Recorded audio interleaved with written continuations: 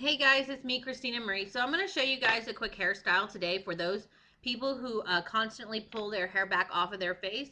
This is a way to keep your hair very stylish and um, to keep it off your face. Anyways, so I already started just to make this video a little bit shorter. I made a braid right here. Obviously, you can see how long it is. Let me put the camera down. All the way the length of my hair. Okay, so let's get started. So what you do here is you take your top section and we're just going to pin it back.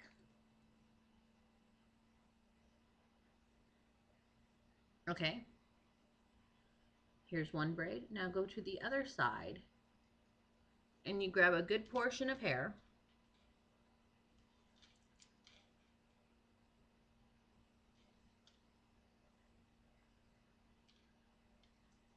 And what you're going to do is you're just going to braid it.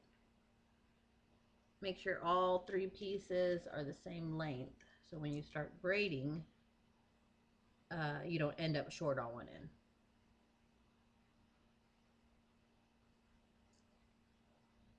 This helps for women who have a lot of hair as well, or just too much volume on their sides.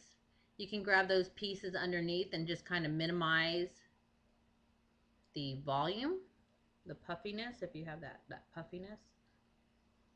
So this is really super quick. Okay. Rubber band. I love these clear rubber bands because they kind of just blend with the hair and they don't stand out. They're not bulky. Okay. Now check this out. You're going to let your hair down, right? You're going to grab your two rubber bands, or your, yeah, your two rubber bands, your two braids, and you're just going to pull it back. You're going to fix your hair to how you want it desired, how you desire your hair to be. And then you're going to pull it back right on top. And what you do, you get another rubber band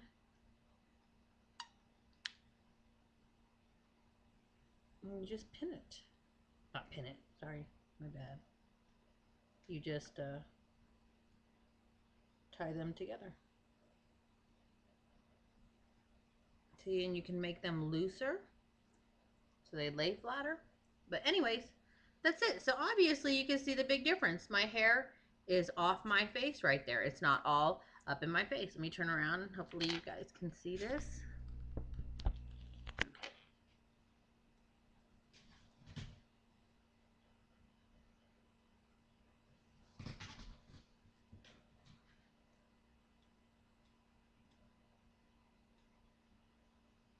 And that's it. I hope you guys enjoyed this tip.